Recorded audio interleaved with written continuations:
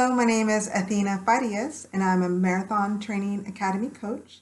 I'm here today to answer one of our members' questions. Deborah Kiernan has a specific question about strength training and what does that mean?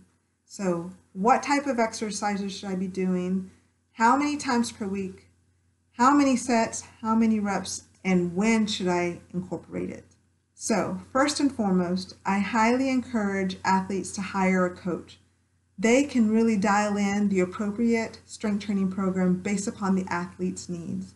Maybe an athlete has had past injuries, surgeries, maybe they're having some muscular imbalances currently in their training program. A coach can really make sure that you are doing the correct strength training program for you. So look at the Marathon Training Academy coaches. We're here to help you. The general rule of thumb for incorporating strength training is two times per week, 20 to 30 minutes per session. Okay. Now, what type of exercises do I do? The type of movements we highly encourage athletes to look at doing is a push, a pull, a lunge, a hinge, and a carry. You get the most out of these exercises.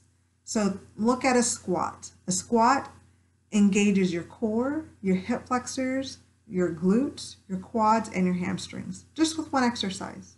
So that's why you can do it in a time efficient manner because you're choosing the appropriate exercise.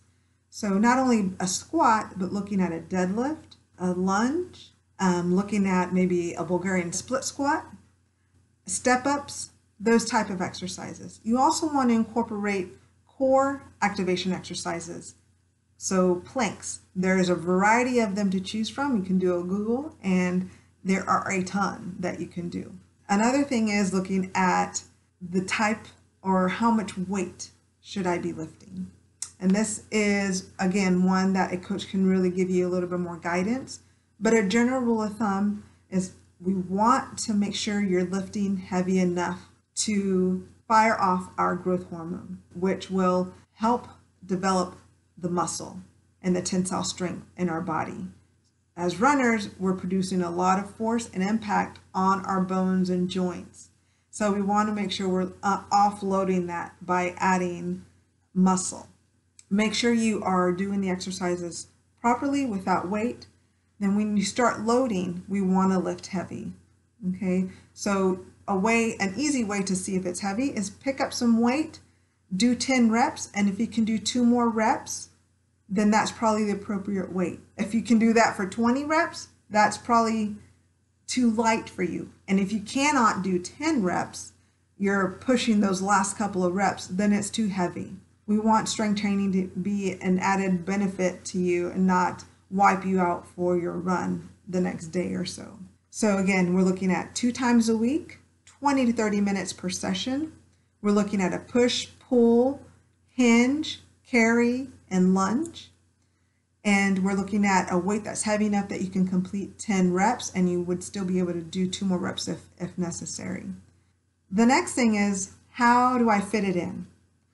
So I really like to have my athletes maybe do quality session in the morning and if time allows, do their strength training in the evening so that they can get a recovery or easy run the next day because you don't want to have two hard days back to back, especially if improving your running or you have a, a goal for a specific upcoming race.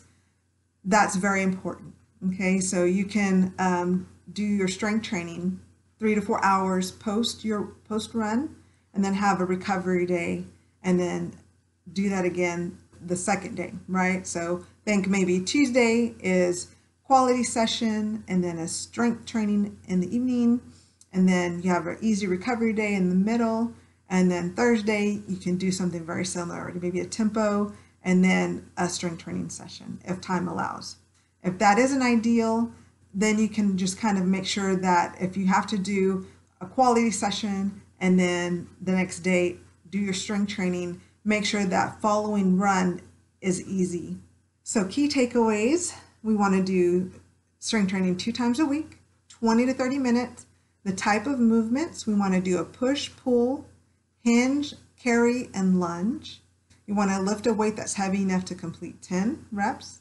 You want to make sure that you have at least a recovery day in between um, a hard run and a lift session, um, especially if running is your number one goal, and be consistent. If you have any further questions, reach out to Marathon Training Academy and we are here for you. Thank you.